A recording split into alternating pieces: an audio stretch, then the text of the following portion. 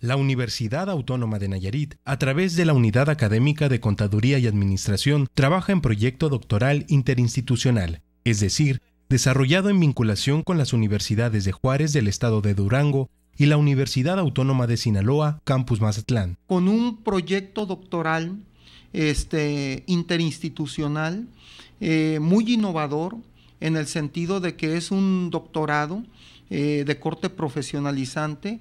Dicho proyecto es innovador por el fortalecimiento profesionalizante, que consiste en tres importantes vertientes, gestión, estudio económico y sustentabilidad.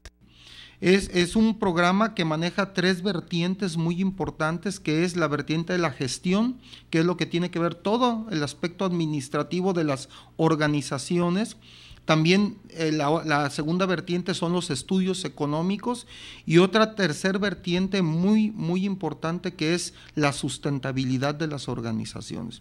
Además, pretende ser el primer programa reconocido por el Consejo Nacional de Ciencia y Tecnología, CONACIT.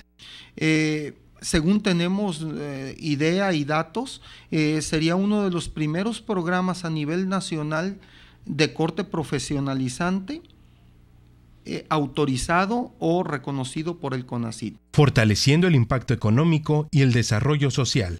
E, esas tres líneas del, conocimiento se van a desarrollar en este programa doctoral y se pretende pues que también sea un programa que impacte de manera importante lo que es la economía y el desarrollo social de las tres regiones que es Durango, eh, sur de Sinaloa y el estado de Nayarit. De esta forma, se consolida la mejora profesional que cuenta el área de Contaduría y Administración WAN.